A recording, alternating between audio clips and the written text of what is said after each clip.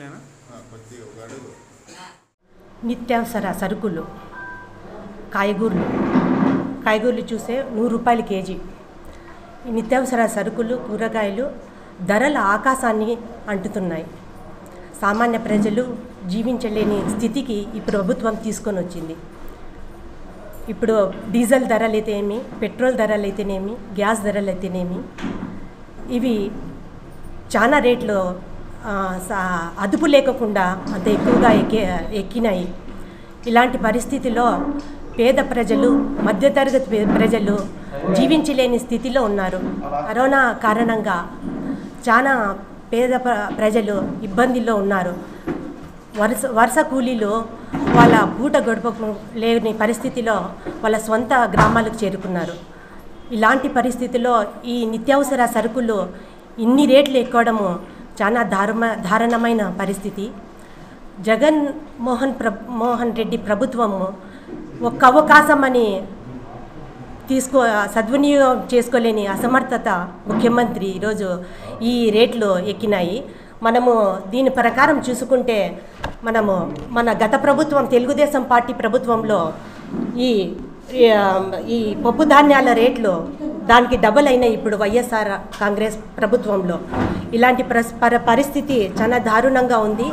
ఇప్పుడు పేద ప్రజలకు వైద్యం అందక ఇట్లా ఆరోగ్య పరిస్థితుల్లో వాళ్ళ సరిగ్గా పరిస్థితుల్లో లేని కారణంగా పేద ప్రజలకు ఈరోజు ఈ ఉన్న ప్రభుత్వము కడుపు నిండుగా అన్నం పెట్టే పరిస్థితి కూడా లేదు. ఈరోజు ఉప్పు పప్పు కొనుక్కోవాలన్నా కూడా చాలా దారుణంగా ఉంది పరిస్థితి. అందువలన ఈ గత ప్రభుత్వంలో ఉన్న ఈ సంక్షేమ పథకాలే ఈరోజు వీళ్ళు పేర్లు మార్చి కేవలం పేర్లు మార్చి అది సద్వినియోగం లేకుండా పోయిన పోయినటువంటి పరిస్థితులు తెచ్చిపెట్టినారు ఈరోజు ప్రభుత్వము. ఈరోజు ఈ కరోనా కారణంగానే వీళ్ళకు ఏ వీళ్ళ పా- పాజిటివ్ వచ్చిన వాళ్ళు కూడా వాళ్ళు ఏం చేస్తున్నారంటే హాస్పిటల్లో పిలుచుకొని ఒక మూడు రోజులు మూడు రోజుల వరకే ఉండనిచ్చి వాళ్ళకి తర్వాత వాళ్ళకు డిశ్చార్జ్ చేసేస్తున్నారు. అంటే వాళ్ళకి సరైన వైద్యం కూడా అందడం లేదు. వాళ్ళకు ఈ సరుకులతో వాళ్ళకు చాలా ఇబ్బందిగా ఉంది పేద ప్రజలకు. అదే నేను చెప్పడం ఏమంటే పేద ప్రజలకు వాళ్ళకి కడుపు నిండగా అన్నం లేని పర లేకుండా చేస్తున్న ఈ ప్రభుత్వానికి మేము సరైన బుద్ధి చెప్పాలనే ఈరోజు మహిళలంతా ఈరోజు ఈ ఎర్రగడ్డలైతేనేమి ఈ కాయగూరలతో ఈ నిత్యావసర సరుకులతో చాలా ఇబ్బంది పడుతున్నారు కాబట్టి గ్యాస్ పెట్రోల్ డీజిల్ ఇవి వెంటనే వీళ్ళ తగ్గించాలా? లేకపోతే మేము పెద్ద ఆందోళన చేసి మహిళలంతా రోడ్లపై వచ్చి ఈ ప్రభుత్వానికి గద్దె దింపే వరకు ఈ పోరాటాన్ని ఇలాగే కొనసాగిస్తామని విన్నవిస్తున్నాను. అయితే మనం నిత్యావసర సరుకులు అయితే ఏమి సామాన్య ప్రజలు బ్రతకాలి అని అంటే వైఎస్ఆర్ ప్రభుత్వంలో ఎంత కష్టం అనేది ఈ పద్దెనిమిది నెలల్లో తెలిసిపోతా ఉంది. దానికి ఒకటే ఒకటే ఉదాహరణ ఏమి అని అంటే నిత్యావసర సరుకులు ఒక కంది బ్యాలతో కంది బ్యాలతో మొదలుకొని కాయగూరల వరకు రేటు పెంచడమే కాకుండా ఇవి ఒక్కటే పెంచుతున్నారా అంటే ఇదొక్కటే కాదు. కే- గ్యాస్ అయితే ఏమి డీజిల్ అయితే ఏమి కరెంట్ అయితే ఏమి. ప్రతి దాంట్లోనూ ప్రభుత్వం ప్రభుత్వ వైఫల్యమే కనిపిస్తోంది కానీ మనకి ఎక్కడే కానీ ప్రభుత్వాన్ని ప్రభుత్వం యొక్క మేము ఈ పని చేశాము అని చెప్పి గర్వంగా చెప్పడానికి లేదండి. ప్రతి పనిలోనూ ఆటంకాలే. అందులో ని నక్క పైన వణుకుతున్న తాటి తాటికాయ రాలినట్టు అసలే కరోనా కరోనాతో బాధపడుతుంటే ప్రజలు.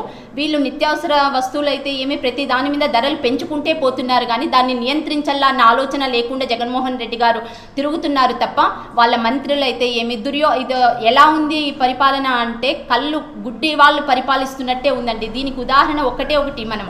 ఈరోజు రైతులు రైతులైతే ఏమి పంట ప వచ్చి కూడా చేతికి వాళ్ళు అందుకోలేకపోతున్నారు. ఇలాంటి పరిస్థితుల్లో కూడా ఆయన హెలికాప్టర్లో ఎక్కి వరదల్ని ఊటే పరిశీలిస్తున్నారు. కానీ అదే ప్రతిపక్ష నేత మా అధినాయకుడు చంద్రబాబు నాయుడు గారు అతని కుమారుడు ఇద్దరూ కలిసి రైతుల బాగోగులు చూసుకోవడామని వెళ్తే దాని మీద మరి వ్యతిరేకంగా కామెంట్స్.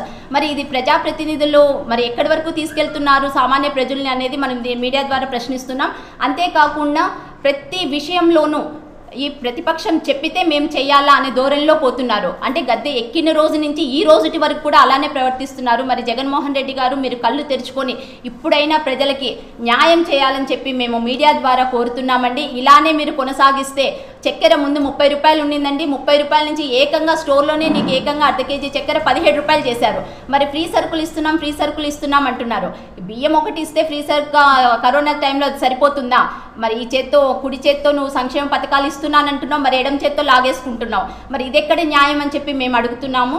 అంతేకాకుండా ఇలానే కొనసాగిస్తే ఇంకా మేము తీవ్ర స్థాయిలో ఈరోజు మా జిల్లా పార్టీలో జిల్లా అధ్యక్షురాల ఆధ్వర్యంలో నగర కమిటీను మొత్తం అందరూ కలుసుకొని ఇంకా భారీగా పోరాటం చేస్తామని చెప్పి మేము మీడియా ద్వారా తెలియజేసుకుంటున్నాం